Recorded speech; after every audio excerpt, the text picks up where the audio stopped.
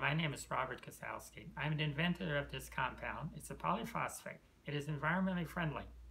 It's really a fertilizer, and uh, it's it works, and it works many times. I can't believe how well it works.